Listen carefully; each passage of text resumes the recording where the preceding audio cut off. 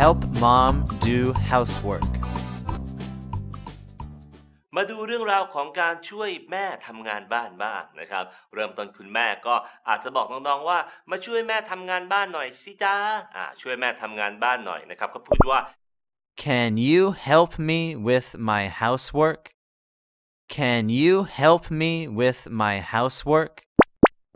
นะครับเพราะว่างานบ้านเนี่ยมีคำหนึ่งก็คือ housework คืองานบ้านนะครับแต่ว่างานบ้านมันมีศัพท์อีกคำหนึ่งให้เลือกใช้ก็คือ chore นะครับ chore แปลว่างานบ้านนะครับ เพราะฉะนั้นแล้วอาจจะพูดว่า can you help me do some chores around the house นะครับ chores เติม s ด้วยเพราะว่างานบ้านมีหลายอย่างใช่ไหมครับ some chores around the house around the house คือรอบๆบ้านหมายถึงถ้าแปลไทยเป็นไทยก็คืองานบ้านทั่วไปตรงโน้นตรงนี้หน่อยซักผ้าดูบ้านอะไรเงี้ยก็คือ some chores around the house นะครับจึงกลายเป็น Can you help me do some chores around the house? Can you help me do some chores around the house? นะครับ ช่วยแม่ทำงานบ้านหน่อย ได้ไหม อะไรประมาณนั้นนะครับ ลูกก็ตอบรับทันทีทันควันอืมซึ่งน้องๆ ทุกคนก็ควรจะเป็นอย่างนี้นะ พอคุณพ่อคุณแม่อยากให้ทำงานบ้าน เราก็ช่วยท่านนะครับ โอเค ลูกก็ตอบรับทันทีทันควันว่า อยากให้หนูทำอะไรเหรอคะ หรือว่าอยากให้หนูทำอะไรเหรือครับ ก็เป็น What do you want me to do? What do you want me to do? ซึ่งประโยคนี้นั้นใช้ได้ทั่วๆไปไม่ได้จำเป็นต้องเฉพาะงานบ้านเท่านั้นนะครับ What do you want me to do นะครับอะแม่ก็บอกว่าไปกวาดบ้านสิลูกไปกวาดบ้านนะครับ ในภาษาอังกฤษจะไม่ได้แปลตรงๆตัวว่ากวาดบ้าน จะใช้ว่ากวาดพื้นมากกว่า อาจจะเป็น Sweep the floors.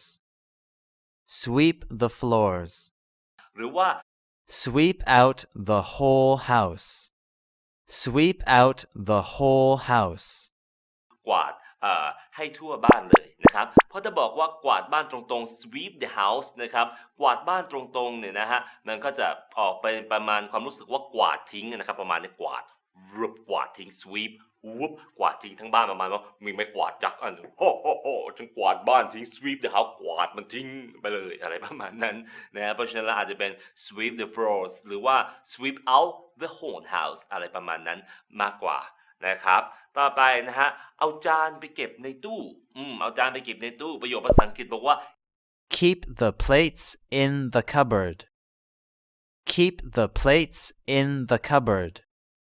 เพราะว่าคัพบอร์ดเนี่ยแปลว่าตู้กับข้าวนะครับ แล้วก็อย่าลืมเติม s ที่จานด้วย เพราะว่าเวลาเราทานข้าวกันมื้อหนึ่งก็มีจานหลายๆใบใช่ไหมครับ keep the plates in the cupboard โอเคนะครับ หรือว่าคุณพ่อคุณแม่อาจจะบอกให้น้องๆเนี่ยเก็บของเล่นให้เข้าที่นะครับ เก็บของเล่นให้เข้าที่ก็คือ keep your toys นะครับ ให้เข้าที่ก็คือ where they belong ต้องเอารวมกันนะครับ ประโยคนี้พูดแยกกันไม่ได้ แต่ว่าผมพูดเพื่อให้เห็นทีละส่วนนะครับ พูดรวมกันเป็น Keep your toys where they belong. Keep your toys where they belong. นะครับเก็บของเล่นให้เข้าที่ ซึ่งถ้าแปลแบบรักษารูปภาษาอังกฤษก็คือ เก็บของเล่นไปในที่ที่มันที่ที่มันอยู่อะเก็บให้มันเข้าที่ที่ของมันที่ที่มันอยู่ที่ที่มันมาจากไหนเออ มาจากไหนก็เก็บเอาไว้ตรงนั้น keep your toys where they belong นะครับเสร็จแล้วก็พอคุณพ่อคุณแม่ปล่อยลูกทำไปสักพักหนึ่งก็อาจจะถามว่า เสร็จหรือยังนะครับทำเสร็จหรือยังเป็น Did you finish? Did you finish? นะครับ ถ้าเสร็จแล้วก็เหมือนเดิมครับถาม did ก็ตอบ did Yes, I did. Yes, I did. หรือว่าที่ยังไม่เสร็จคุณลูกก็บอกคุณพ่อคุณแม่ไปว่า No, I didn't. No, I didn't. นะครับหรือว่าถ้ายังจำได้ใช่ไหมนะครับ อาจารย์เดวิดพูดไปหลายครั้งแล้วว่าถ้ายังยังเลยเนี่ยใช้คำว่า No, not yet. No, not yet. เพราะฉะนั้นจะถามว่าอาจารย์เดวิดสอนเสร็จหรือยังบอก no not yet เพราะว่ายังมีอีกหลายๆเรื่องเลยที่จะมาสอนกันต่อครับ